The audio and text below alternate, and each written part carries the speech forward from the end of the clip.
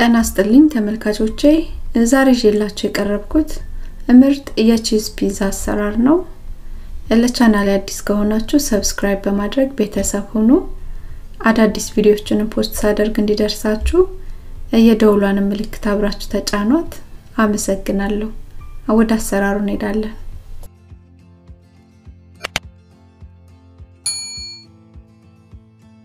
በኩባያ ውስጥ ለብ ያለ ውሃ አለኝ። አንድ የሾርባ ማንኪያ ስኳርና አንድ የሻይ ማንኪያ ጨው አስገባና አዋህጃ አሟሟቸዋለሁ።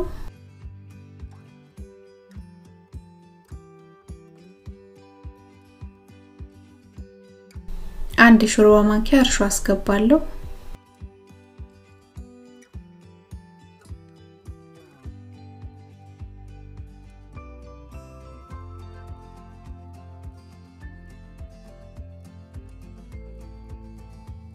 በማቦካበት እቃ ውስጥ አራት ኩባያ ዱቄት አለኝ።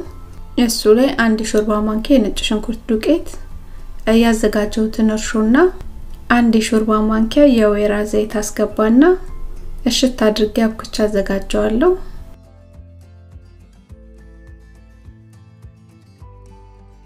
ሊጡ ኩፍ እስኪልልኝ ድረስ የፒዛውን ሶስ እሰራለሁ።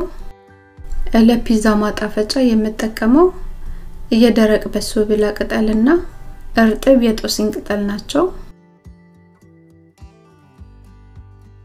በመጥበሻው ላይ ስድስት ፍሬ የነጭ ሽንኩርት ድቅቅ አድርጌ ከተፌና አንድ የሾርባ ማንኪያ የሚያህል የወይራ ዘይት አደርግና አብሬ ያቁላላቸዋለሁ።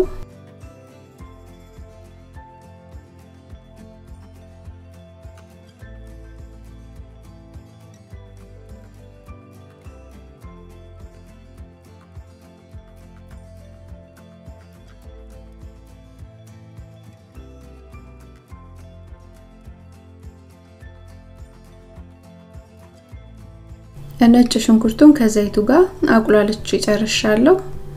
የቲማቲሙን ሶስ አስገባና ደግሞ አብሬ አቁላላቸዋለሁ። ቲማቲሙን ፍረሹንም መጠቀም እንችላለን።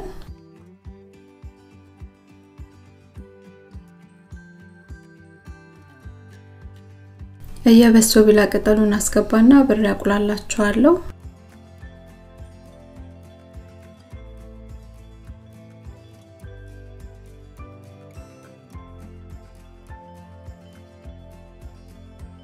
ጨው አደርጋለሁ።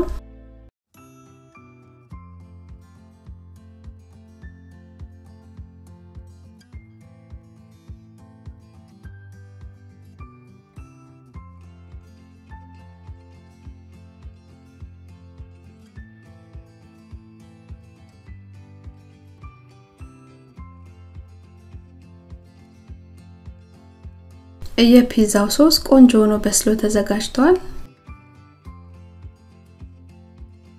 ሊጡ ከአንድ ሰዓት በኋላ ይህን ይመስላል።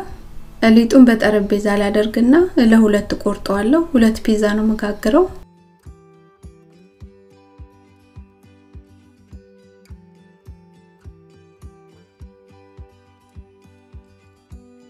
ሊጡን ክብ አድርጌ ጠፍጥፌ አዘጋጅቸዋለሁ። ከላዩ ላይ በሹካ ወጋ ወጋ አደርገዋለሁ አየር እንዲወጣ። አየሩ ካልወጣ ከመሀል ላይ ቡፍ ስለሚል በሹካ ወጋ ወጋ አድርገን አየር እንዲወጣ እናደርገዋለን። እያዘጋጀሁትን የቲማቲም ሶስ ከላይ አደርግበታለሁ።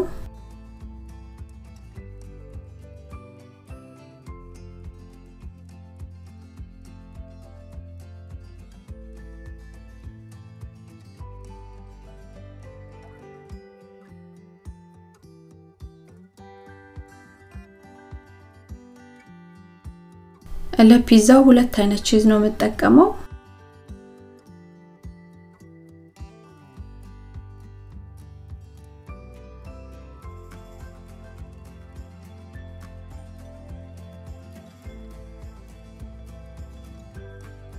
ቺዙን ከላይ ካደረኩ በኋላ oven ኔን 425 ዲግሪ አድርጌ ለ20 ደቂቃ በስለዋለሁ። ፒዛው ቆንጆ ሆኖ በስሎ ወጥቷል። ከላዩ ላይ የጦር ቅጠል አደርግበታለሁ።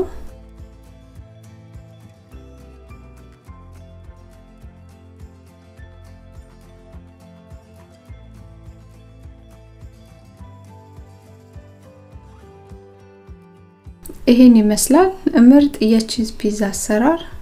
ለቻናል አዲስ ከሆናችሁ subscribe በማድረግ ቤተሰብ ሁኑ። አስተያየት ጥያቄም ካላችሁ እቀበላለሁ።